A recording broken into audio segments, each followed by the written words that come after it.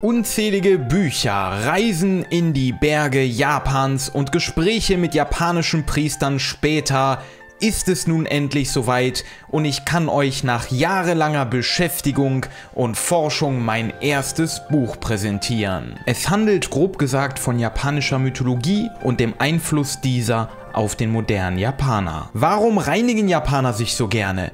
Warum gehen sie so oft in Schreine? Glauben sie wirklich an all die Götter, die in ihnen verehrt werden? Was hat es mit dem Ahnenkult in Japan auf sich? Und warum darf es eigentlich keine Kaiserin in Japan geben? All diese Fragen werden sich auflösen, wenn du mein Buch liest und das mythologische Fundament genauer verstehst, welches der japanischen Kultur und Gesellschaft zugrunde liegt. Mein Buch kann man über den ersten Link in der Videobeschreibung vorbestellen oder vielleicht sogar auch schon direkt kaufen, je nachdem wann du das Video siehst. Es ist überall vorbestellbar, nicht nur auf Amazon und das E-Book wird kommen, wenn es nicht sogar schon da ist, mit dem Veröffentlichungstag des Buches. Damit man aber auch weiß, was in dem Buch eigentlich genau behandelt wird, habe ich gedacht, wir schauen uns das Inhaltsverzeichnis mal ein wenig genauer an heute. Ich habe generell beim Schreiben darauf geachtet, dass es eine einfache, verständliche Sprache ist. Also auch für absolute Japan-Anfänger ist das Buch geeignet, selbst wenn man überhaupt keine Ahnung von Japan hat.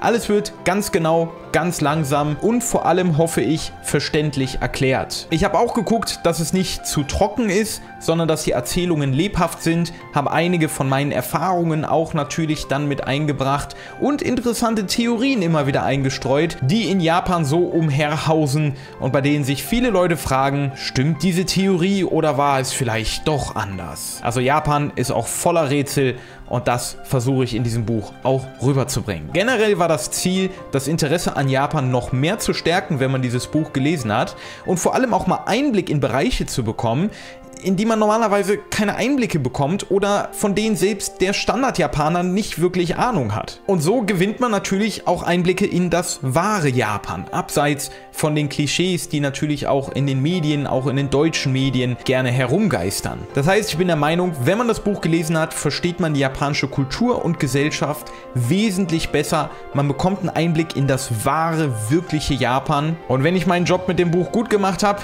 dann hat man danach richtig, richtig Lust, sich mehr mit dem Thema zu beschäftigen und vielleicht auch mal eine Japanreise zu machen. Nun aber genauer zum Inhalt des Buches. In Kapitel 1 der insgesamt sechs Kapitel des Buches schauen wir uns so ein bisschen an, was versteht man eigentlich unter japanischen Mythen, auf welche Schriftwerke wird dort Bezug genommen, wie ist der japanische Gottbegriff eigentlich zu verstehen, sind das so Götter, wie wir die aus der katholischen Kirche meinetwegen kennen, beziehungsweise da gibt es ja eigentlich nur einen, oder was hat es damit eigentlich auf sich? Das heißt erstmal so eine kleine Einleitung darin, was ist japanische Mythologie eigentlich? Gehören da auch die ganzen Geister und Fabelwesen zu?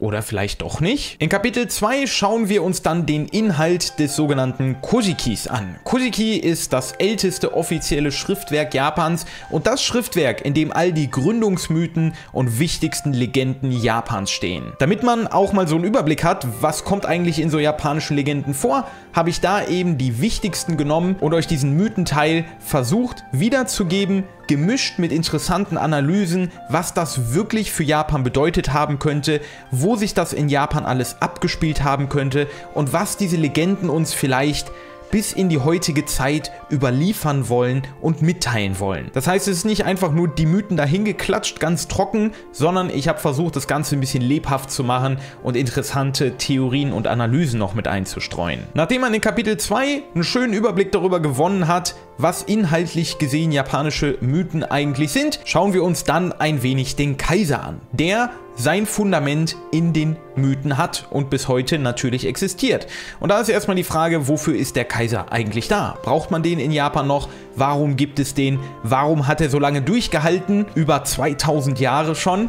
Und auch so ein bisschen die Frage, warum darf es eigentlich keine Kaiserin geben? Warum muss der Kaiser ein Mann sein. In Kapitel 4 schauen wir uns dann an, was sind eigentlich die sogenannten Schreine in Japan, wie werden die Götter in ihnen verehrt, wie verhält man sich in so einem Schrein eigentlich? Und wie ist er aufgebaut? Und warum gehen Tag für Tag so viele Japaner in den Schrein? In Kapitel 5 beschäftigen wir uns dann mit den sogenannten Omatsuri bzw. Festen, die auch oft in Schreinen ausgetragen werden und das teilweise schon seit über 1300 Jahren, wenn nicht sogar noch länger. Diese Feste sind vor allem für den modernen Japaner auch immer noch super, super wichtig. Und da ist natürlich die Frage, warum schleppen die Japaner seit über 1300 Jahren schwere Holzwagen auf ihren Schultern durch die Straßen Japans. Das wird bei so Festen nämlich in der Regel gemacht. Und das schauen wir uns ganz genau an, warum diese Feste eigentlich so wichtig sind und heute auch immer noch veranstaltet werden und heute auch immer noch so eine große Bedeutung haben. Und dann im sechsten und damit auch letzten Kapitel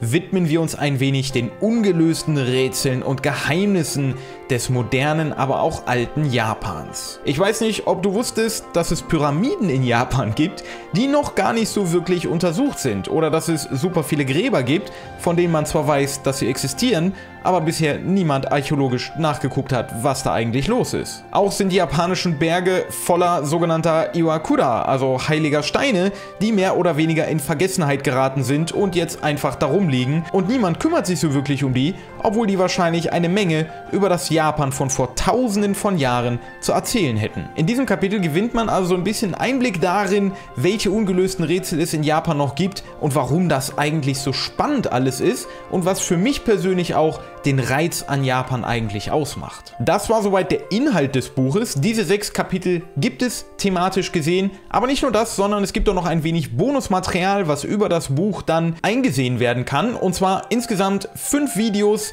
zusätzliche Videos nochmal mit Bildmaterial direkt aus Japan, sodass man zum Beispiel in die Festen genaueren Einblick noch bekommen kann und sich das auch mal anschauen kann. Und außerdem noch eine Tabelle mit all den Kami bzw. Göttern, die im Buch vorkommen, damit man eine schöne Übersicht hat und auch weiß, wie die miteinander verstrickt sind, wer da mit wem geheiratet hat und wie die Abstammungslinien sind. Also ich denke, das Zusatzmaterial ist auch nochmal richtig gut, vertieft die Inhalte des Buches nochmal und da bekommt man dann einen richtig schönen Einblick in die japanische Kultur und Gesellschaft und vor allem natürlich auch Mythenwelt. Ich hoffe, dass ich mit dem Video jetzt den Inhalt ein bisschen deutlicher machen konnte und das Interesse natürlich auch wecken konnte. Würde mich sehr freuen, wenn ihr im ersten Link in der Videobeschreibung mal vorbeischaut, das Buch eventuell vorbestellt oder kauft, wenn es schon draußen ist und ein bisschen darin lest. Ich denke, dass es wirklich für jeden Japan-Interessierten ein sehr, sehr gutes Buch ist. Also wenn man Japan und die Japaner besser verstehen möchte, dann ist das eigentlich die Grundlage, würde ich sagen.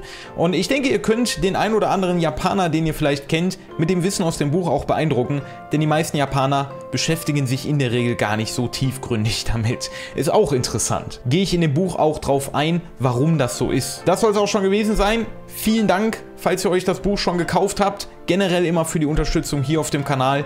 Und dann würde ich mich sehr freuen, wenn ich von dem einen oder anderen von euch vielleicht ein Feedback dazu bekomme, wie das Buch war, falls ihr es gelesen habt. In diesem Sinne, viel Spaß beim Lesen.